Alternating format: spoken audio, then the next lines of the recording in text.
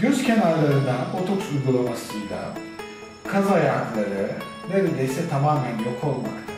Aynı zamanda bu uygulama ile kaşın dış kısmı kaldırılmaktadır. Genç ve orta yaşlı kişilerde özellikle e, bu uygulamayla e, kaş kaldırmada çok başarılı bir şekilde gerçekleştirilebilir. Burada botoksun uygulama yeri hem etkinlik hem güvenlik açısından çok önemli.